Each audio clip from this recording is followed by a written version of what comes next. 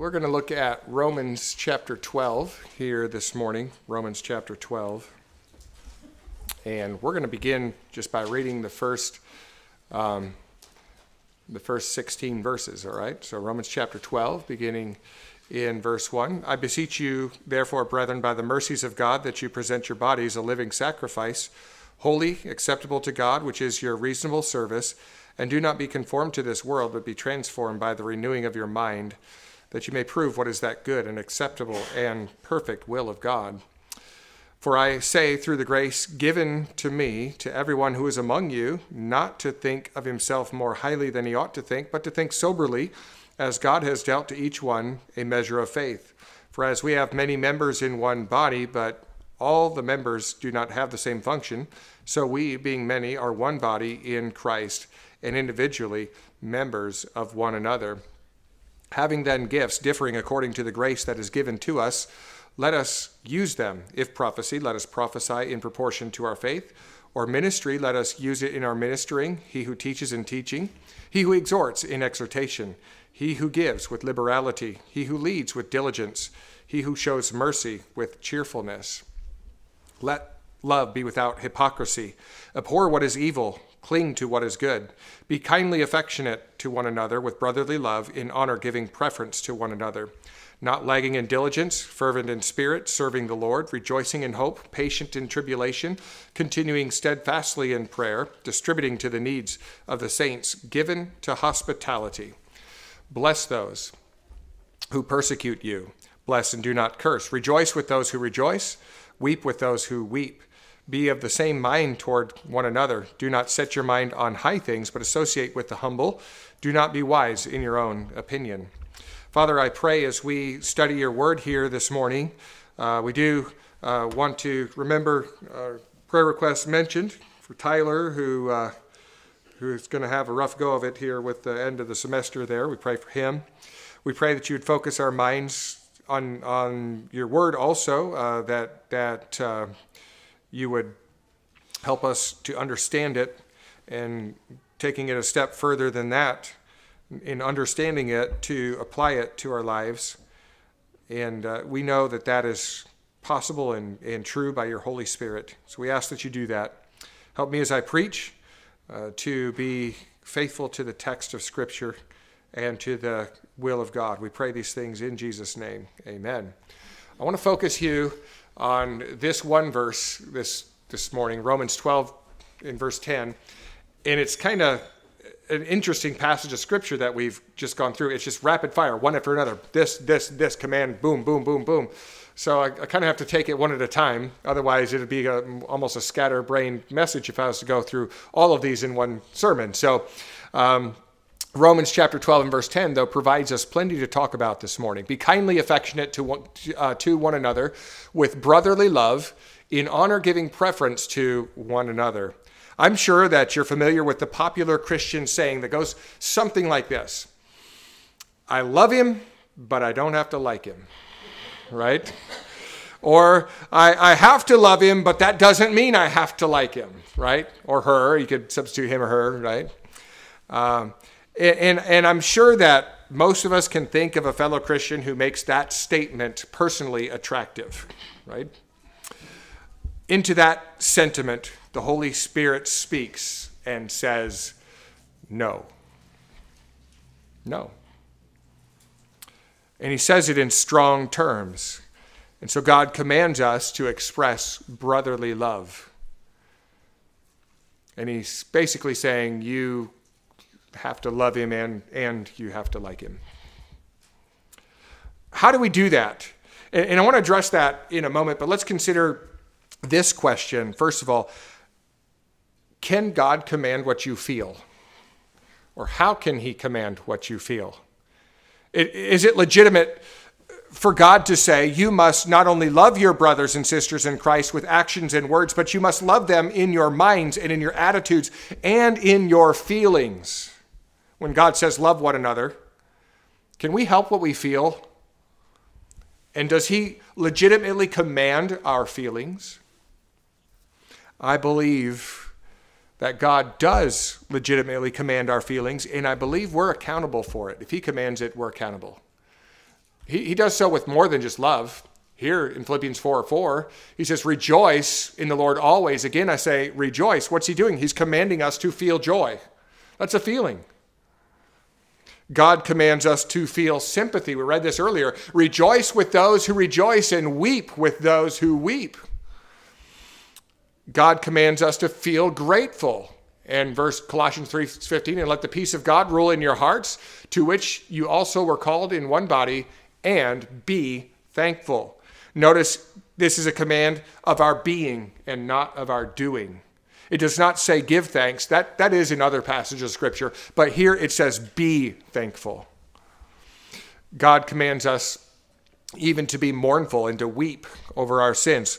James 4 9 says, Lament and mourn and weep. Let your laughter be turned into mourning and your joy into gloom. And these are just four examples of the many myriads of commands that God gives us in Scripture where He commands our feelings. Now, I, uh, we, we live in the age of the rom com, right? You know what I'm talking about? The romantic comedy.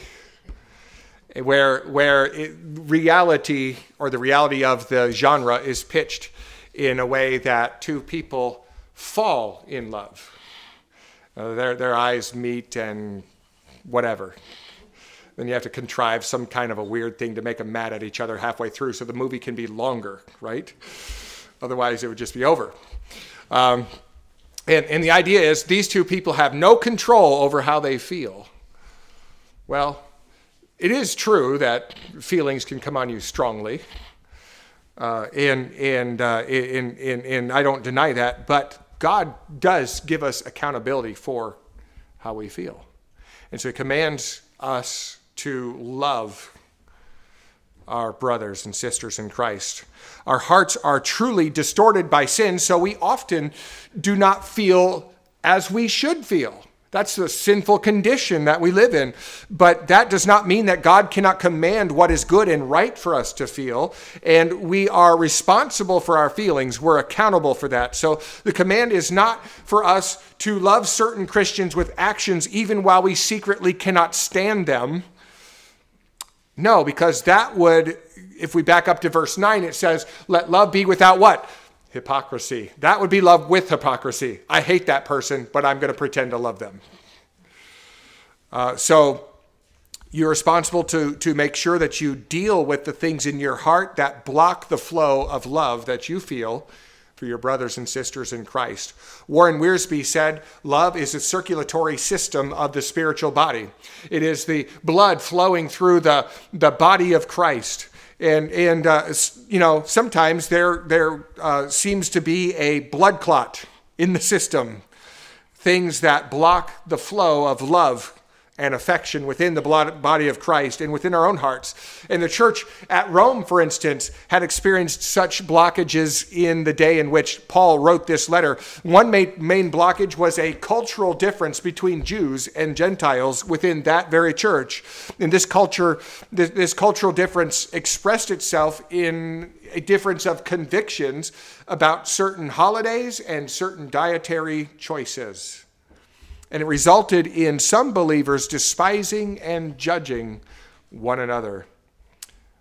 Different scruples about diet um, blocked their brotherly affection. Look at Romans 14, verse 1. Receive one who is weak in the faith, but not to disputes over doubtful things. For one believes that he may eat all things but he who is weak eats only vegetables.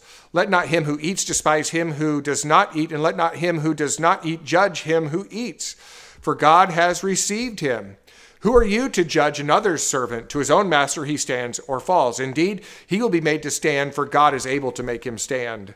And so, because of some differing scruples about food, some people in that church judged others, and others despised some there were differing scruples about holy days. Romans 14, verse 5. One person esteems one day above another, another esteems every day alike. Let each be fully convinced in his own mind. So, over observances of certain holidays or certain holy days, uh, there was a blockage in the system, the circulatory system of love in that body of Christ. Christians today do have some serious disagreements about diet and holidays. Uh, I, I, see uh, people who, you know, uh, often I see people who think that the Christmas trees are pagan and they're out to, on Facebook to prove that you should never put one up. Others get bent out of shape if you have Easter eggs. Uh, some Christians go trick or treating while others stay uh, away from that. Um, and those differences of opinion should not divide the body of Christ. And, and, and the scripture says, be fully persuaded in your own mind. I mean, I, I, uh, uh, I, I have strong opinions on some of those things. But in most cases, someone is right or at least more right about their opinion, and someone is wrong, or at least more wrong about that opinion. Uh, but, but the kids collecting candy and Batman costumes are probably not really worshiping the devil on October 31st. You know, and, and, and the parents who keep their kids home from that are probably not really cursing your name and looking down on you. And the, and the parents refusing to go trick or treating probably don't think they're better than you and the kids who are going trick or treating are probably not selling their souls for candy. And if one despises the other and the other judges the one, then everybody's wrong. And your scruples divide the body of Christ. And then you have blood clots in the circulatory system of the church. The body of Christ in Rome was in danger of heart attack. What was the basis of this type of a problem? Well, uh, Jewish believers and Gentile believers in that church had many differences, and and uh, those differences were causing friction. Uh, we, we, get that, right? I mean, um, we deem it impossible to like a person until something in that person changes. Like I will, I will love them because I'm supposed to love them, but I can't like them because they're this way, and that just rubs me the wrong way. Well, guess what? Just go ahead and be rubbed the wrong way. All right? guess what? You'll survive. It'll be okay. And we say, um, I have to love him, but I don't have to like him. But is that real love? Leo Tolstoy speaks to this. He says, uh, I don't know if he was a Christian or not, but this is uh, insightful. When you love someone, you love that person as they are and not as you'd like them to be. What a boring world this would be if everybody was the way you wanted them to be, right? there'd be no variety. Um, some people really do need to change. But aren't you glad that God didn't wait for you to change before he loved you? The church at Rome had a blockage against this love. What remedy would Paul describe, prescribe for that, for that blockage? Well, he, the remedy he gives them, he commands them to honest brotherly love. We need the same medicine, so how can we take it? We can how can we cultivate and express brotherly love? First of all, we express brotherly love through familial affection. Familial affection. This is the affection of a family being devoted to one another, and we express brotherly love for other believers this way. Family affection, devotion, and our text demands it. Look at that. It says, Be kindly affectionate to one another with brotherly love, in honor, giving preference to one another. Be kindly affectionate. Um, so the text is commanding this brotherly love of us, and it tells us two ways to express it. One is to be kindly affectionate. Um, that's the first way. We'll just focus on that. What does it mean to be kindly affectionate? Well, this refers to tender affection. It particularly refers to a family type of affection. And so this verse commands Christians to have a tender affection for one another with the love that a family has. Now, if you grew up in a dysfunctional family, you might struggle to understand this analogy. And my heart goes out to you for that. I did I, I was blessed to grow up in a family that that loved one another. Sometimes many times people do not get that privilege. And so if that's you, try to try to put that out of your mind and understand that the Bible here, the Holy Spirit here is using the ideal family as a, and that would be better than any family that we ever lived in. Uh, but the ideal family here is devoted to one another. Uh, and, and, and so try to consider that one love that loves and is devoted to one another. The early church um, identified and reacted and, and acted as a, an extended family. Look how Timothy instructs, or um, Paul instructs Timothy He says, Do not rebuke an older man, he's talking about in the church, but exhort him as a father, younger men as brothers, older women as mothers, younger women as sisters, with all purity. See how he describes that relationship? Here, Paul instructs Timothy to think of members of the church as if they were members of his family. And this isn't all gooey, mushy stuff. Paul is telling Timothy how to enter into a confrontation with other believers in the church. See that? Don't rebuke an older man. In other words, when you confront him about his sin, or if you come to him about something that needs to change, don't come with both both barrels blazing. show him respect as you would show to your father if you had to go to your father with something that needed to change. And so, how Timothy conceived of his relationship to them was key. Unfortunately, many modern churches are really run like some kind of a box store corporation. Um, and and that was not the case from the beginning. That was not the first century version of the church. It was an extended family most of the time meeting in houses instead of uh, corporately owned buildings.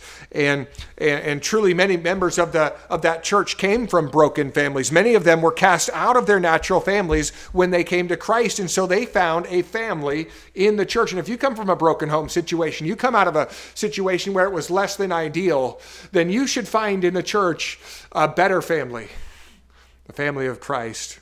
So they found family in the church. Paul himself, when he came to Christ, lost everything.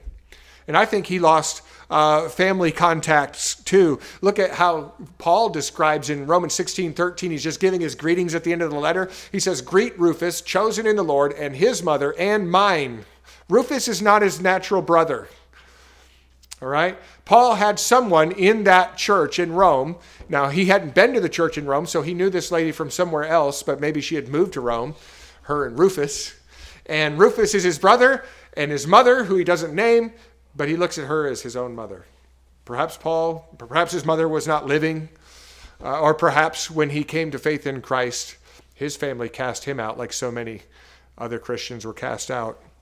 So Paul himself finds this great apostle a mother in the church at Rome. So the church fellowship is an extended family relationship. Again, the, the command to be kindly affectionate to one another is not a command that is restricted to our actions. We are commanded to feel attached as an ideal family is attached. Look what Peter says, 1 Peter 1:22, since you have purified your souls in obeying the truth through the spirit in sincere love of the brethren, love one another how? fervently with a pure heart. That is not just on the outside. We express brotherly love through familial action. It is real, it is genuine, it is without hypocrisy. And if it is all that, it cannot say, I love her, but I do not like her. It can't do that. Now, our text tells us two ways to express brotherly love. And by the way, I've said that many times. I love him, but I don't have to like him. I, am guilty of that. I, I, was going through this text this week and, and, and just like, come on, Paul, get out of my kitchen. This is killing me. So I'm not just beating you down with this if you've said it. Man, I've probably said it from this pulpit. All right? And if I did, I stand corrected.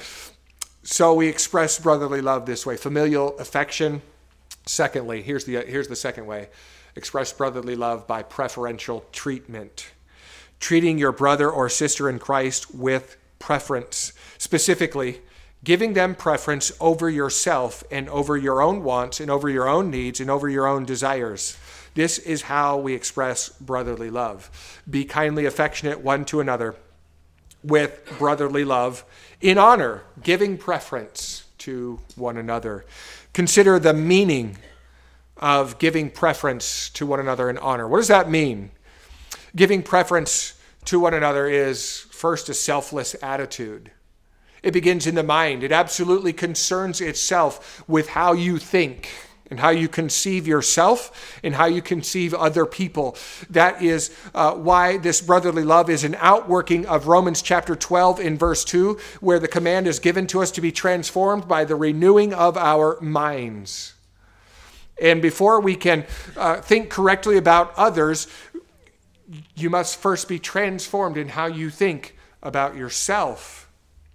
Just look at the two statements here in our text that frame the picture of brotherly love, all right? And it has to do with how we think about ourselves. Romans 12, 3. For I say, through the grace given to me, to everyone who is among you, do not, not to think of himself more highly than he ought to think, but to think soberly, as God has dealt to each one the measure of faith. So, first of all, he says, don't think too highly of yourself. And we have to have that warning from Scripture because that is our natural bent.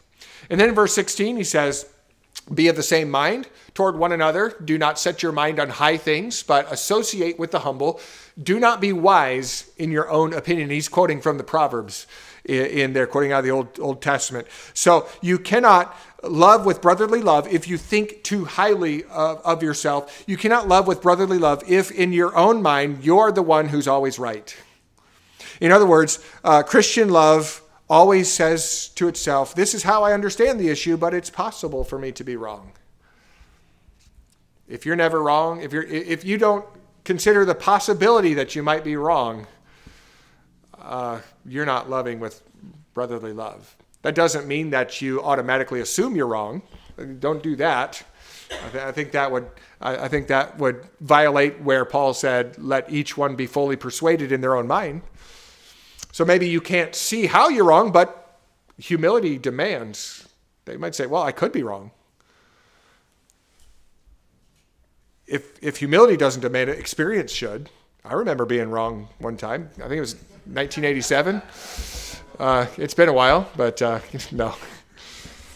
If you want to know, just ask my wife. She's got, uh, she's got better information. Um, but at its most fundamental level, thinking better of others than ourselves is being like Jesus.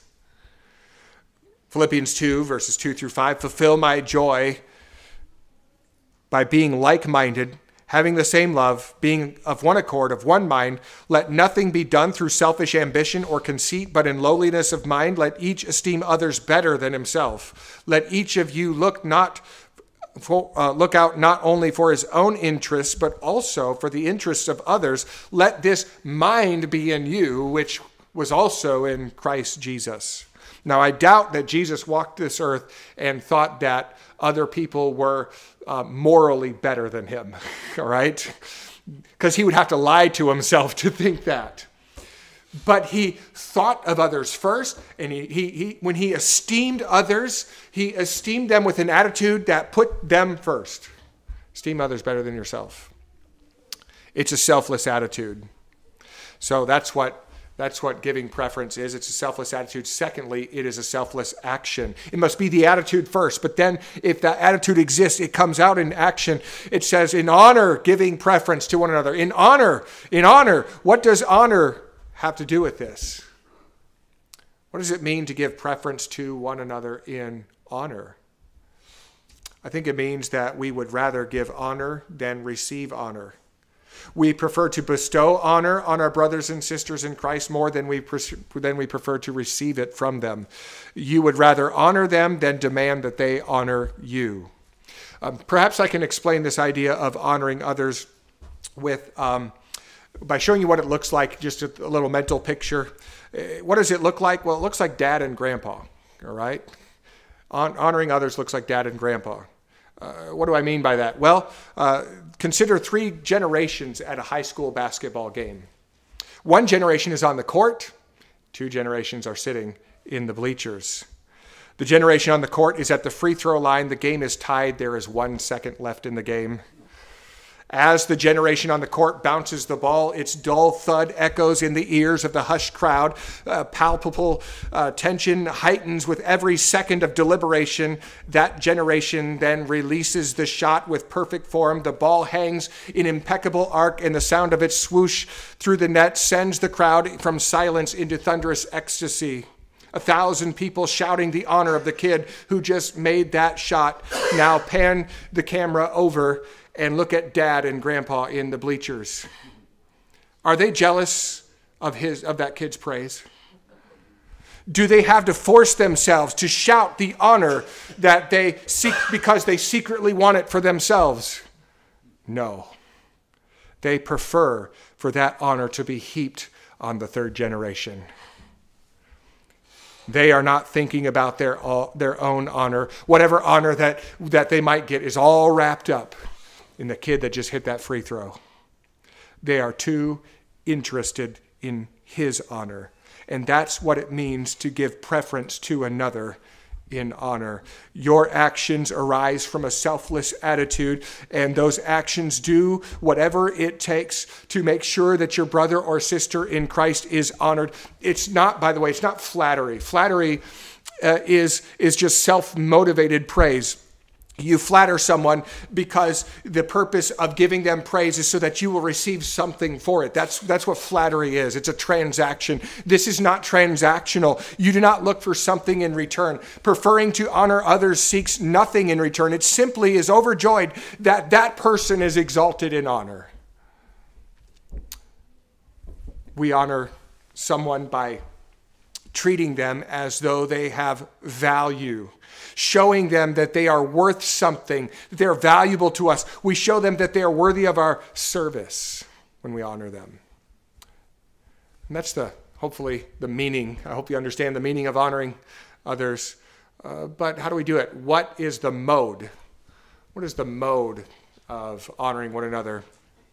In other words, in what practical ways can we express this preferential treatment to one another? Warren Wiersbe says uh, it's he calls it treating others as more important than ourselves. That's pretty pretty simple. I will give you one specific and one general example in Scripture. All right, specifically, honoring others is bearing one another's burdens. Galatians 6 2, bear one another's burdens and so fulfill the law of Christ. I, want this sermon not to be two hours, so I won't go through the, uh, again, many verses that deal with specific ways to do that, uh, specifically way, ways to honor people. But generally, uh, specifically, here's one instance bearing one another's burdens. It honors them, it shows them that they're worthy of your service. Generally, it's given this way. Therefore, uh, Galatians 6:10, therefore as we have opportunity, let us do good to all, especially those who are the household of faith. Again, there's that family, right? The household of faith. And so, generally, doing good things for other believers. This can include uh, meeting physical or financial needs where you find out about them. It could uh, just be that a person needs someone to listen to them. And, uh, you know, I've, I've seen that exercised in our church. Some people just need a, a listening ear, and, and, and it's not always easy to do, but sometimes uh, they, they have a burden that just doesn't need to be borne alone listen and pray and listen and sympathize and listen and encourage. We give preference in honor through compassion, through forgiveness, through encouragement, through doing ministry together and with others and for others. Kind words, acts of services, notes of encouragement. There are all ways, all kinds of actions, but all of it comes out of this attitude. But how much? Where do we draw the line? What is the limit of this? So I want you to consider uh, now the measure of giving preference in honor. Our Lord Jesus Christ gives us this measure, and it's a measure that's very easy to comprehend, right? Love your neighbor as yourself. Love your neighbor as yourself. Uh, notice that little word, as. That's a big little word, all right? That means in the same way or with the same amount. I'm not sure which, but maybe both. And we must love our neighbor in the same way that we love ourselves, or just as much as we love ourselves however much we would like to be honored and, and highly thought of, we ought to give honor and highly think of others. John Piper gets right in my kitchen with this. Loving our neighbor as ourselves means that we make our self seeking the measure of our self giving. We're good at self seeking, that's natural. I can tell you what self seeking is. At five o'clock in the morning, my cat meows and I want to kick that cat. This is just this is just love for a cat, all right? I don't really want to kick him too hard, but uh, but I I don't completely because it's a cat, so I don't have to show the love of Christ to a cat every day. I go to the coffee maker first. Like he's like meow, pay attention to me. I'm like, hold on, cat. We're going to the coffee first, all right? That's not how you love your neighbor as yourself, right? Uh, I would want, if I was appealing to someone at five in the morning, it would be very important, and I would want them to really respond right away. But we make our self seeking the measure of our self giving. I just want coffee in the morning. That is my self seeking. It is my comfort. It is my true love. It is, it is uh, the blueness of the sky, the crispness of the air. It is, it is the flora, the fauna. It is all in the morning at five in the morning. And, uh, uh, and I know how deeply I want to seek that. Can I apply that level of devotion to somebody else, to a neighbor, to a brother and sister in Christ? Let me ask you this. With this measure, we take our self seeking, make that the measure of our self giving. How much would you like to be forgiven of your faults, husbands and wives?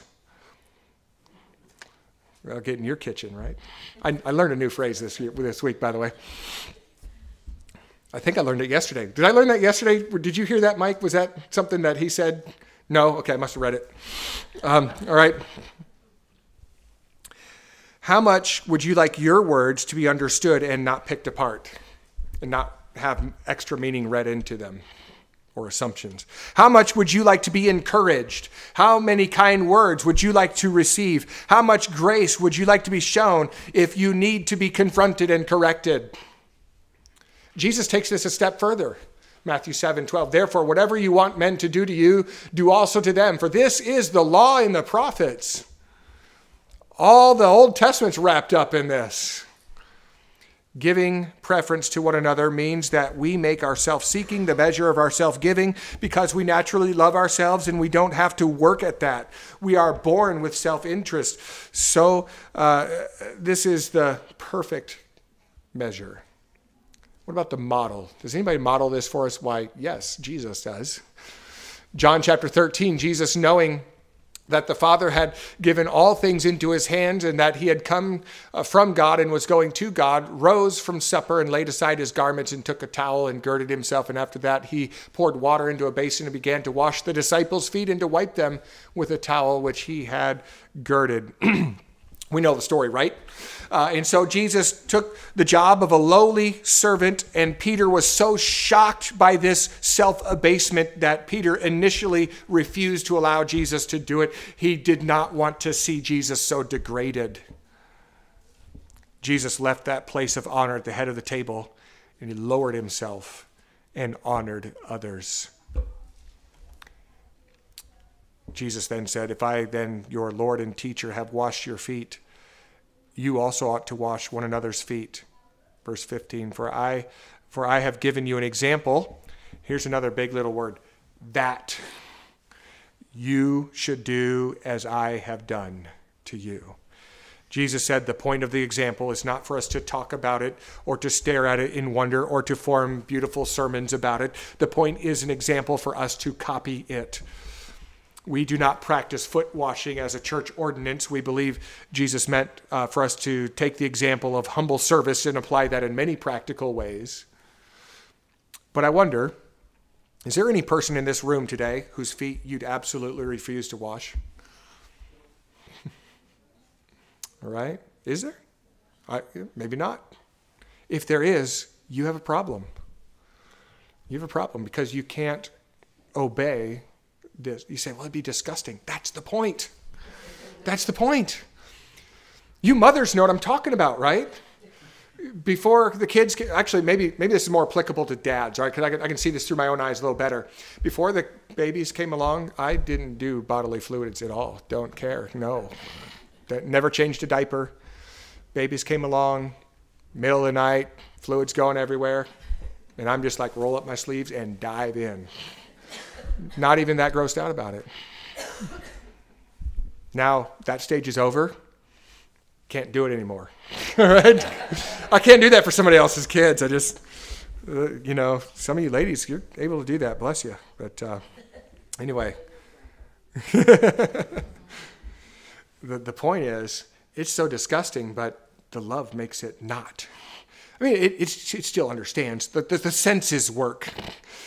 But the love says, I'm gonna just gonna, I'm going to look past that and serve, even with joy. Why? And by the way, remember whose feet Jesus washed. You say, I can't wash so and so's feet. They didn't shake my hand last week. or they said this and it hurt me. Anybody ever been hurt in church? Me too. They said this and it hurt me. I couldn't wash their feet. Jesus washed the feet of Judas Iscariot on the night, the night that Judas would kiss him to get him crucified. And he knew it was going to happen. Christ is our model. Do what he did, emulate the model. Are there blockages that hinder the flow of brotherly or sisterly love in your heart today? What causes these things? In, the re- in reality, the majority of blockages coming out of our hearts and minds,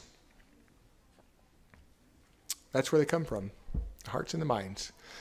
Let us not become conceited, Galatians 5:26, provoking one another, envying one another. Conceited. What's that mean? Thinking too highly of yourself? Self-seeking is the major thinking problem that blocks brotherly love. James chapter 3 verses 14 through 16. But if you have bitter envy and self seeking in your hearts, do not boast and lie against the truth. This wisdom does not descend from above, but is earthly, sensual, demonic. For where envy and self seeking exist, confusion and every evil thing is there. Look at the opposite, look at the, the flip side of that about love. 1 corinthians 13 4 love suffers long and is kind. Love does not envy. Love does not parade itself is not puffed up with pride does not behave rudely does not seek its own is not provoked not easily offended. That's what that means. Thinks no evil. Yeah it gets hurt because it's it's a real human being. It does feel pain but it does not take that pain and make it an offense where it holds a grudge. Self seeking should be easy to spot in our lives because it causes us to be so easily offended. If you're always offended, then you're selfish. Sorry. People may do things that deservedly offend you, but if all you do is carry around that, those grudges, you're stuck on yourself and you need to repent. You really do. Because you imagine that you're the only one that suffers as you do. And there's 8 billion people in the world that suffer as you do. It's see see this brotherly love its major concern is the glory and the respect and the honor of God. And self-seeking its major concern is the glory and the respect and the honor that others must show to it rather than God's glory and honor for others. Self seekers are never wrong in their own eyes. Self seekers are often uh, provoking discord and finding their, their, fighting for their own interests and desires to be more important in their eyes than the unity of the body of Christ. As a remedy for this, God prescribes for us brotherly love. Take the pill if you, if, even if it's hard to swallow. And so, Express brotherly love through familial affection. Don't say, as I have said, I know I've said it, I love them, but I don't have to like them. That's wrong. For when I've said it, I repent. Familial affection and preferential treatment. This morning, let's take three actions, and then we'll go to the Lord in prayer here. Action number one is diagnostic. Identify blockages in your heart that hinders brotherly love. Look at yourself and think about maybe the person that you have to love but you can't like. And ask yourself, why is it that I can't like them? Now, here's the thing with family some people crack their knuckles in the family and it drives other people nuts. Don't ask my wife about that, all right? But here's the thing with family families are far from perfect, right? But you don't kick your kids out of the family because, even for grievous sins that they've done, right? You just, you don't necessarily approve of everything, but you don't hate them. Um, So, what is it about that person that you can't like? Is it because you're just very different people? Some of us in here are very different people. And we wouldn't hang out on a Sunday morning if we didn't have Jesus between us, right? I mean, some of us are older than others, some of us are younger than others, some of us have different interests. Um, you know, some of you guys are really, really manly. Like you're going to go this this year, you're going to shoot something big, gut it out, hang it somewhere, and smoke the meat, right? Some of you guys are just, some of you guys are so, some of you guys are going to take pieces of wood and build beautiful things. And I envy you. I, I failed shop class. All right? And while you're doing that, I'm reading British literature. That's why we don't hang out much. All right? Because you're a normal guy and I'm weird. I can't even grow a beard. And uh, there might be some something about me. It's like I, I have to like him. He's the pastor, and I'm outvoted. I can't vote him out, right?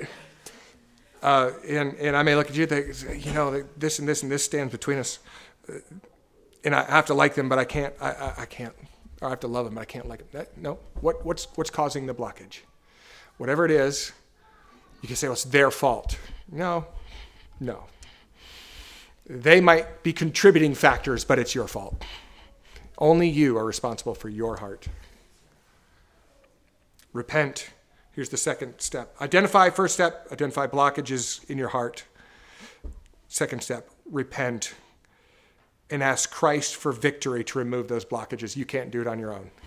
You need grace upon grace upon grace. It's He that brings us together. Thirdly, visualize practical ways to express brotherly love. And, and maybe decide to take action on one of those this week. Say, I'm going to put this into practical action this week. You might have to do that with your wife or your husband. I don't know how you walked in this morning. If you were like trying to kill each other in the car and then you walked in with smiles on your face. No one's ever done that, right? When I grew up, we lived across the parking lot from the church, so we, we had to try to kill each other in the foyer of the house and then smile all the way across you may have to do take identify something and take a practical step with repentance with your husband or your wife or your kids or your parents. But i ask you to decide and take one action this week. Let's stand together